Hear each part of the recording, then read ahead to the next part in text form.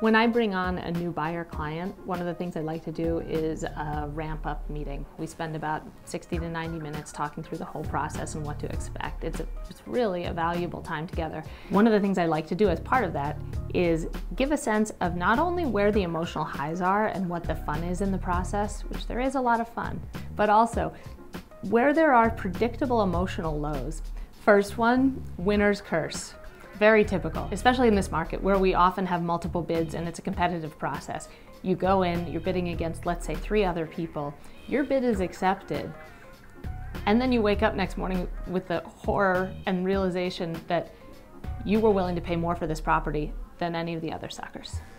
And you start to doubt yourself. It's part of the process. The second emotional low I see is at and after the home inspection. So you love this house, you're paying a ton of money for it, and you go and hire an inspector whose only job is to tell you what's wrong with the property.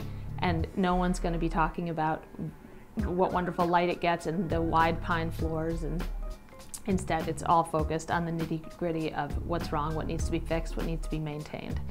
Uh, that can be a hard moment for some buyers. The last one, right before closing actually, so you really, it's all culminating, you're about to get your house, and we go have a walkthrough of the property just before it closes. Now, probably every other time we've been in the property, it's been staged, there's been furniture, nice art on the walls. Now we walk in, it's empty. It looks like a ghost town. You see dust balls in the corner. There's no furniture. You see a stain on the floor where the carpet was. You see the um, nail holes in the wall where the art was. Well, every room looks smaller without furniture in it. And you gasp and say, I'm about to spend what on this?